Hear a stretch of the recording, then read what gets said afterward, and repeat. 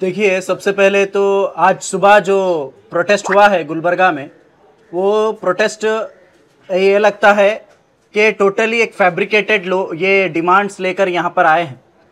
देखिए, जो श्री राम सेने इनसे हमारे को एसडीपीआई को हो या फिर दूसरे जितने भी मुस्लिम संगठन हैं, उनको कुछ भी फ़र्क नहीं पड़ता।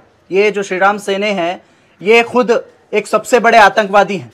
ये दूसरों को पर आतंकवादी का ये तोहमत लगा रहे हैं। एहतजाज में आतंकवादी संगठन कह रहे हैं। पहले तो इनको ये नहीं मालूम, एसडीपीआई का फुल फॉर्म इनको नहीं मालूम। Social democratic party of India, it is a political party, it is not a organization. ये लोग संगठन बोलकर एसडीपीआई को बैन करने की बात कर रहे हैं। कोई चाइनीज़ ऐप नहीं है एसडीपीआई। एक पॉलिटिकल पार्टी है, इसके इलेक्टेड रिप्रेजेंटेटिव्स हैं। ग्राम पंचायत से लेकर कॉरपोरेशन से लेकर तमाम जगहों पर असेंबली और पार्लियामेंट इलेक्शन लड़ती है एसडीपीआई और इलेक्शन कमीशन ऑफ़ इंडिया में रजिस्टर्ड है एसडीपीआई लेकिन ये लोग एसडीपीआई को ऐसा समझ रहे हैं कि कोई चाइनीज़ ऐप बैन करने की बात करते हैं ना, उस तरीके से ये लोग बात कर रहे हैं। तो सबसे पहले ये श्रीराम सेने अपने आप को खुद के अंदर झाँक कर देखे, इनके कारनामे क्या हैं? इन्होंने ज़िंदगी में, जहाँ पर सिंदगी के तहसील ऑफ़िस में पाकिस्तान का झंडा लहराने वाले, यही श्रीराम सेने वाले हैं, जो जेल भी जाकर आए हैं और केस अब, केस भी इनके ऊपर हुआ है। और ऐसे कई क्राइम्स ऐसे कई आतंकवादी चीज़ों में ये लोग इन्वॉल्व हैं श्रीराम सेने के लोग। तो ये लोगों को हम, ये लोग हमारे को बोलने की ज़रूरत नहीं है। और दूसरी चीज़, ये खुद गोवा में और महाराष्ट्र में और कई जगहों पर बैन है श्रीराम सेने। प्रमोद मुतलिक बैंड है और सिद्धलिंगिया स्वामी कई जगहों पर बैंड लगा चुके हैं इन लोगों के ऊपर और कई क्राइम क्रिमिनल केसेस इन लोगों के ऊपर बुक हैं। तो ये लोग आकर हमारे को लेक्चर दे रहे हैं। हमें इनके लेक्चर की ज़रूरत नहीं है। और दूसरी चीज़, जो बीजेपी सरकार है, ये जो बीजेपी गवर्नमेंट है, ये अपने जो भी, जब कभी इनको, जब लगता है कि अवाम इनसे भरोसा छोड़ रही है, जब कभी लगता है अवाम इनका साथ छोड़ रही है तो तब ये लाशों पर सियासत करते हैं।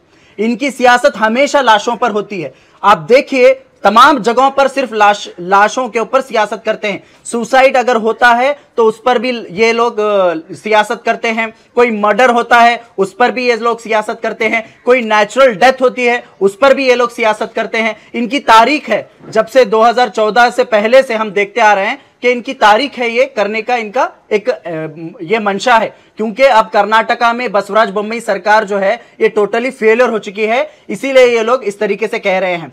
ये लोगों का ये भी, यहाँ तक भी ये इस हद तक ये गिर चुके हैं।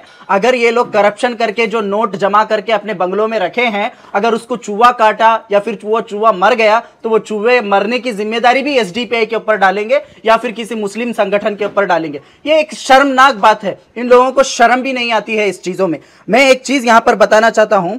हाल ही में अशोक पुजारी अशोक पुजारी जो अभी भी ज़िंदा है, उसकी लिस्ट, उसको डेड लिस्ट में डाला गया। उसको ये बताया गया कि ये मुसलमानों ने या फिर एसडीपीआई या फिर कोई मुस्लिम संगठन या पीएफआई ने इन, इनको मारा है। ये शोभा करनलाजे एक मेंबर ऑफ़ पार्लियामेंट होते हुए एक ऐसी घटिया हरकत की है कि उन्होंने अपनी लिस्ट में ये नाम डाला अशोक पुजारी जो अभी भी ज़िंदा है उसको मरा हुआ बताया है इन्होंने। उसके बाद एक सुसाइड केस राजू मडिकेरी जो कंस्ट्रक्शन बिल्डिंग पर चढ़कर कंस्ट्रक्शन का काम कर रहा था उस वक्त वो गिर गया तो उसके उसको भी मर्डर बताया इन्होंने। उसको भी मुसलमानों के ऊपर थोपने की कोशिश की। उसके बाद मंजुनाथ, जो शिवमोगा में 2015 में जिसका मर्डर हुआ था, खुद उसकी वाइफ ने उसका मर्डर किया था, खुद सुप्रिटेंडेंट ऑफ़ पुलिस और पुलिस डिपार्टमेंट ने ये क्लियर किया था। उस वक्त भी ये लोगों ने एसडीपीआई और दूसरे संगठनों के नाम डालने की कोशिश की। उसके बाद कार्तिक राज जो मंगलूर के अंदर मर्डर हुआ था, उसके बारे में भी मुसलमानों के ऊपर डालने की कोशिश की। कौन पकड़े गया, कौन अरेस्ट हुआ? खुद के रिश्तेदार अरेस्ट हुए। उसके बाद मसूद का मर्डर हुआ। मसूद के मर्डर में आठ आरएसएस के लोग पकड़े गए। बजरंग दल के लोग पकड़े गए। जब इनका मुँह नहीं खुला, जब सीएम बोम्मई बात नहीं किए, जब सीएम बोम्मई एक्शन लेने की बात नहीं किए, दिनेश कन्याड़ी दलित लीडर का मर्डर हुआ, बीजेपी के लीडर अरेस्टेड हैं, लेकिन उसके बावजूद भी इनका मुँह नहीं खुला। अब परसों जो फाजिल का जो मर्डर हुआ, सूरतकल में उसमें कौन पकड़े गए? आरएसएस और बजरंग दल के लोग पकड़े गए, लेकिन उसके बाद इन लोगों का मुँह नहीं खुलता। आरएसएस को बैंड करने के बारे में, बजरंग दल को बैंड करने के बारे में, श्रीराम सेना को बैंड करने के बारे में। तो ये इनकी एक दोहरी एक नीच पॉलिटिक्स है। इसीलिए ऐसी नीच पॉलिटिक्स का एक पर्दाफाश करने का नाम है social democratic party of India. आज एसडीपीआई मुसलमानों की, दलितों की ओबीसी की, सबकी आवाज़ बनकर काम कर रही है। इसीलिए इनके पेट में दर्द हो रहा है। इनके पेट में दर्द हो रहा है, इनके वोट चले जा रहे हैं। अब आज एस के साथ दलित, मुसलमान, सब लोग एकजुट होकर हमारा साथ दे रहे हैं। एस एक रियल अल्टरनेटिव का काम कर रही है, इसीलिए इन लोगों को डर और खौफ है, इसीलिए ये लोग ये सब कर रहे हैं। तो हमें इनके बातों से, इनके बयानों से, इनके नारों से कुछ फ़र्क नहीं पड़ने वाला, कुछ भी फ़र्क पड़ने वाला नहीं है, और आने वाले असेंबली इलेक्शन में हम मुँह तोड़ जवाब बीजेपी को देने वाले हैं। वो लोग साफ़ साफ़ करें कि जो भी हिंदू के साथ हो रहा है, जो कोई हिंदू को मार रहे हैं या फिर कोई हिंदू मर रहा है, ऐसा सुनने में आ रही है न्यूज़ तो उसके पीछे पीएफआई और एसडीपीआई का हाथ है। नहीं, उनका काम ही वो है। देखिए, जब, कब, जब भी पुलिस अभी एक इन्वेस्टिगेशन चल रहा है अभी एक इन्वेस्टिगेशन को आप डाइवर्ट करने की कोशिश कर रहे हैं। तो ये ये एक चाल है बीजेपी की। ये हमेशा यही काम करते हैं। आखिर में ओपन होता है कि ये बीजेपी के लोग या फिर दूसरे कोई रेवलरी से या फिर कुछ भी ऐसा कुछ हुआ बोलकर नज़र आता है। तो ये इनका काम है। क्या सर मैं? बोला ना वजह एक ही है। एस पे एक रियल अल्टरनेटिव है।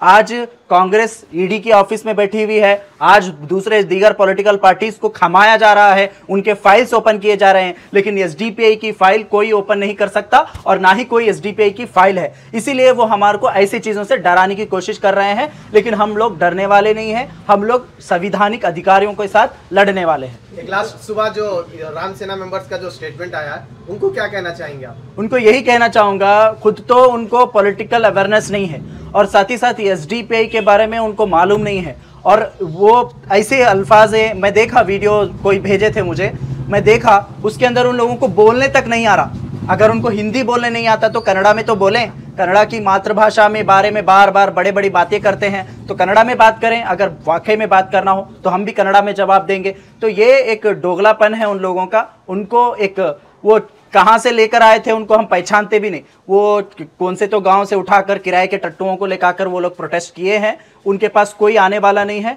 गुलबर्गा हो या कर्नाटका स्टेट हो, एक यहाँ पर एक जिम्मेदार जनता रहने वाली लोग हैं और ये पूरे देश को ये बताने वाले लोग हैं कि हम आने वाले असेंबली इलेक्शन में एक रियल अल्टरनेटिव आज चुन चुके हैं, जिसका नाम है social democratic party of India